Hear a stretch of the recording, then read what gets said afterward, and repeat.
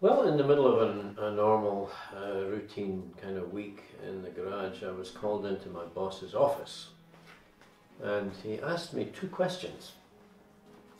The first one was, Can you swim? And I said, Yes, I can swim. He said, Have you ever had any experience with boats? And I said, Well, uh, my experience is a bit limited to just a rowing on the pond, you know. And he said, Look, We've got a, we've had a request from the Asian office for practical people to take part in a project that they're running. And uh, I can't really tell you the details of it, but here's what I want you to do. I want you to go back to, I was in Holland at the time, I want you to go back to Britain. Go to the Philippine Embassy in, in London and get yourself a long-term visitor's visa. And here's a list of the shots that you need to get before you leave because you're flying out of um, Schiphol Airport on Tuesday morning uh, on a flight to the Philippines, to Manila. Oh, now this was this, this was kind of characteristic open doors behaviour. Um, you know, your life would go on uh, in the, the, even tenor of its way, and suddenly someone would uh, announce you were going off to some other remote part of the world to do something. Normally you were told really what it was, but in this particular case we weren't told. Um, we, we landed in Manila and it's a bit like a James Bond story actually. Um, the instruction was to book into the, the Philippine Village Hotel at the airport and after three days you will receive a phone call. uh, that was the only instruction that we had. So the, the phone call came and they said, tomorrow morning we'll pick you up. So we were picked up and we were taken in the car. For four hours we drove the car, nobody told us anything about what was going on. We just sat in the back of the car and we ended up at the ferry port. We got on a ferry boat and we ended up on a beautiful tropical island in the Philippines called Mindoro. Mindoro Island. And there um, a certain Captain Bill Tinsley had his base. He said, um, I'm going to tell you now what the project is about. But I asked them in Holland to make sure you had return tickets in your pocket. So if there's anything about this that you don't feel sure about, or it worries you in some way, you're under no obligation whatsoever to participate. And he said, here's what we're going to do. We've received a request from the house church movement in China and they have assessed their needs and come to the conclusion that they, they currently need, and quite urgently need, one million Bibles. He said, I've worked it out. A million Bibles is 232 tons.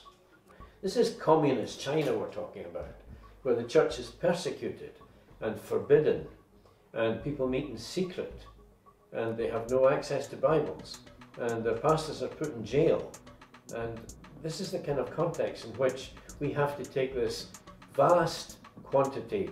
I mean, think of a tennis court about six foot deep in boxes. That's what a million Bibles looks like. And he himself was uh, an old seaman, and he naturally his thoughts turned to a ship. The more he thought about it, he came to the conclusion that we would have to design a special ship in order to do what we wanted to do. Paper is lighter than water. So if you were to wrap a box of Bibles, completely waterproof wrap them, they will float in water.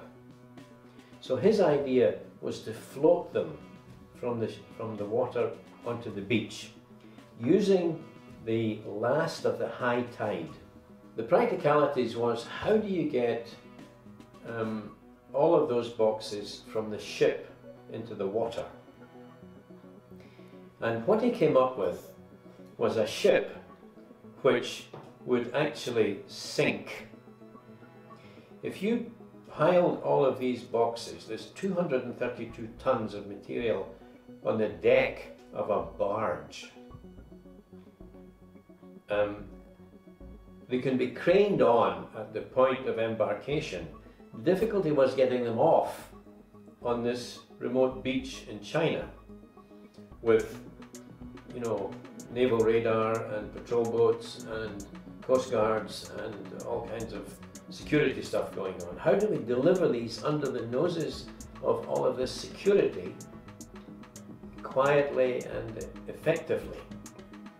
So if you can imagine a tugboat crossing the ocean, towing a barge full of Bibles, and as we get in towards the beach, we open these big valves, huge valves, 10 inch valves, and the water began, begins to rush in and floods this chamber underneath the deck. The deck sinks, yeah? The doors uh, on winches slowly open, the thing continues to sink, the water floods over the deck, it rises higher and higher, until finally these bales are buoyant they're beginning to float a wee bit. And as soon as they begin to float, because they're six feet high and only two feet wide, they topple over and lie flat. The plan was to train teams of guys with Zodiac rubber boats. Now, a Zodiac is a rim, a rigid inflatable boat. it's got a solid bottom, but it's got rubber um, cushions all the way around. Um, and we adapted these as small tugs and the idea was that we would tow these floating packages in a string of about three or maybe four together. So we've got 232 of these and we've got two teams of Z-boats. Um, so, uh, so um, this is the plan, okay, this is the plan. This, this is just a blueprint on paper at the moment. My friend Cor and I are both quite technical and we get this and we're really, really excited about this. It's, we, we, we kind of see that this is really creative and really original and it might even work, you know. But at this point we have very little money. We certainly have no barge, no tugboat, we have an idea, yeah? And we're, we're in at the beginning. And so he's saying to us, if you don't like it, you can, you've got your plane ticket, you can go back home and, and no questions asked. And we said, what, we love it, this is great, what a great idea. So one or two other people in the in the Manila office of Open Doors were in on it. The vast majority of the staff knew nothing about what was going on at all. This thing was just really, really a well-kept secret. During that time, the captain was kind of looking for potential crew members. But these men were all administrators or fundraisers or, you know, the 20 crew members. They, they trawled through the Open Doors offices all over the world to find people who could sort of take part in this project. But none of them were seamen or in the least bit kind of, you know, suitable.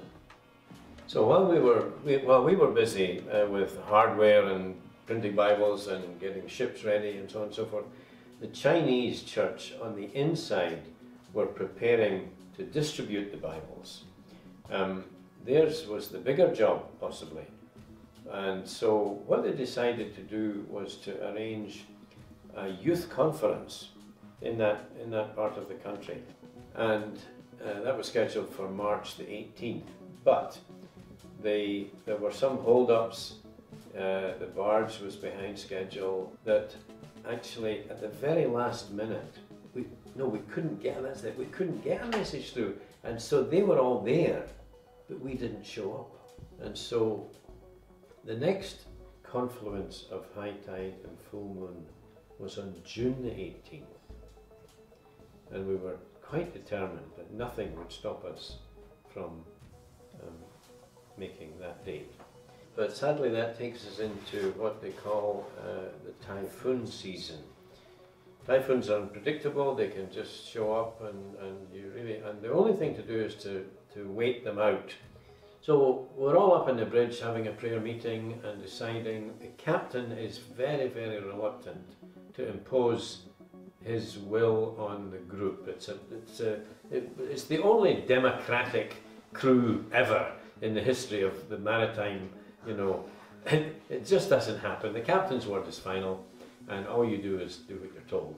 It's quite remarkable that he deferred to the the faith of the group fortunately, we all agreed that typhoon or no typhoon, we were going to give it our best shot.